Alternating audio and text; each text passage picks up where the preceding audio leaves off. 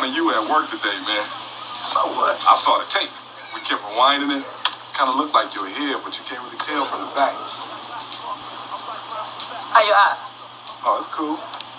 Damn! Put your glasses back on. Welcome to another edition of IMO Sports with Pedro Justice. Well, last night, Steven Nelson stopped DeAndre Ware in the sixth round, and it didn't come without any controversy because, of course, headbutts. That was the theme of last night. He caught a couple of headbutts, clash of heads. He started bleeding profusely, and he had to go to work. So he was like, okay, DeAndre, okay, DeAndre, you want to go ahead and play around with me? Well, I'm going to go ahead and make quick work of you. So he had to go in there and put them hands on DeAndre because DeAndre Ware did not come to play, but neither did Steven So Cold Nelson. But that wasn't all that happened last night because his fellow super middleweight boxer, Edgar, Edgar Berlanga Jr. said, that boy Steven Nelson don't want no smoke.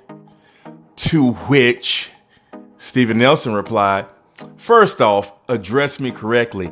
I ain't no boy. I'm a grown A man. Go play these internet games with somebody else, especially since every time you see me in person, it's always smiles. What's up, bro? Handshakes and daps. So there's a little beef there. Now, currently, Steven Nelson is the super middleweight NABO super middleweight champion. He has a title right now. As you see, look at these knockouts. Bow, bow, bow, bow. Four in a row, a unanimous decision, two more, knockout, unanimous decision, a knockout. So he's been putting in work. 14 knockouts to 17 fights, pretty impressive.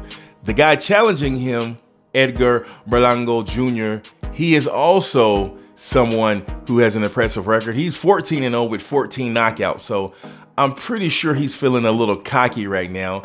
And he wanted to come in and try to rain on So Cold so-called Nelson's parade. So Cold Nelson, he is a funny guy. He has a good sense of humor. As you see earlier in the video, you saw a clip of this. I mean, he's a funny guy. He's making light of what happened. He's not trying to blame anything. He's he just handled business.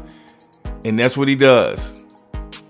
So Cold Nelson versus Edgar Berlanga Jr. I'm up for that. I wouldn't mind seeing that fight.